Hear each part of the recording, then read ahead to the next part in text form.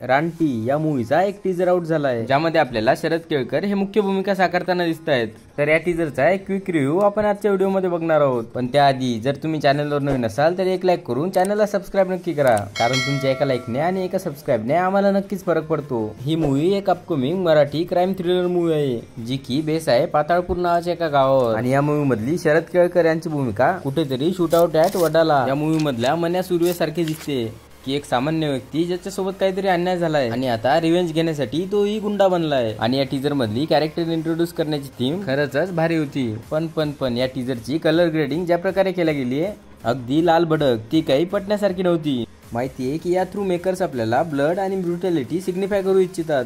पण थिएटर्समध्ये पूर्ण मूवीज आपल्याला जर अशा प्रकारे दाखवल्या गेला तर या सीनप्रमाणे ऑडियन्सच्या देखील तोंडातून रक्त बाहेर येईल. शरद केळकर यांच्यासोबतच या मूवीमध्ये आपल्याला संतोष जोयकर आणि संजय नार्वेकर यांचा देखील एक मेन रोल दिसतोय. बाकी फाईट सीन्स ब्रुटॅलिटी आणि व्हायलन्स या सर्व गोष्टींमध्ये हा मूवी मूवीची पॅटर्न पेक्षाही एक पाऊल पुढे दिसतोय. पण डायलॉग रायटिंगमध्ये हे लोक कुठेतरी नक्कीच मागे पडलेत. कुठे तो शरद केळकरच्या आवाजामधला छत्रपतींचा डायलॉग हैं. बाहुबली मधला लेजेंडरी डायलॉग महासेना! उस मृत्यू को मारने जा रहा हूं मैं. आणि या समोर या मूवी मधले डायलॉग अगदी चिप वाटत आता माझ्या नजरेत राडा आणि हातात फाईट आपण full on danger don't take me light आता सर्व गोष्टी डिपेंड करतात. या मूवीला मेकर्स आपल्यासमोर नेमकं कशा प्रकारे प्रेझेंट करणार आहेत? या मूवीच्या ऑफिशियल पोस्टरमध्ये एक टॅगलाईन यूज केली आहे. The most powerful film of the decade आता ही मूवी खरंच किती पॉवरफुल असणार आहे? हे तर आपल्याला थिएटर्स मध्येच पाहायला मिळेल. बरेच जण या मूवीला उग्रम या मूवीचा एक रिमेक बोलतायत.